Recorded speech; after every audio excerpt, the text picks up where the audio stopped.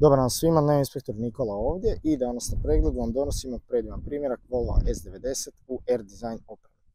Na vozilu od opreme možemo istaknuti prednja LED svjetla, prednje parkirne senzore te svjetla za maglu. Naravno vozilo posjeduje prednju stražnju te bočne kamere, 360 kamere oko vozila. Imamo aluminijski set, 20 solnih kotača, trenutačno na novim Sport Contact 7 gumama, stražnja tonirana stakla, kile sa otključavanje za otključavanje te pokretanje vozila, upozorenje za mrtvi kut, isto tako automatsko zatemnjivanje vanjskih i unutarnjeg retrovizora, stražnja LED svjetla, stražnje parking senzore te kameru za vožnju unazad.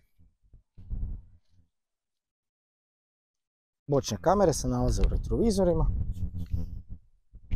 vrlo uredno stanje vozila, svježe spolirano troslojno te navučena keramika. Od oštećenja možemo naglasiti vrlo slabo primjetna ogrebotina na stražnjem braniku.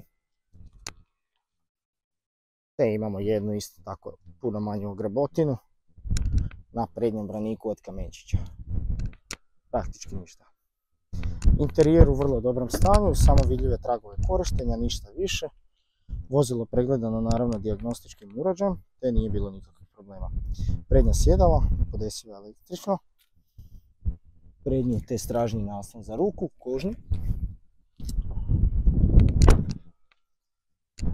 Sa vozačeve strane možemo istaknuti kožni multifunkcionalni volan s adaptivnim tempomatom, naravno automatska svjetla. Memorija sjedala, električno preklopivi retrovizori, digitalna instrumenta, možemo i upaliti vozilo odmah.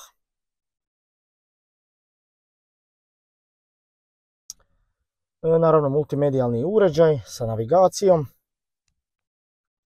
Te imamo automatsku dvozonsku klimu i kontrolu za grijanje prednjih sjedala.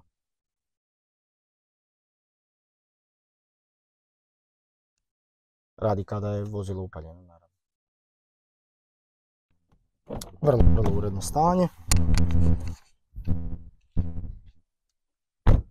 A ova predivna limuzina za duga putovanja vas očekuje danas na Neosta platformi. Dolazi uz naše 12 mjesečno jamstvo.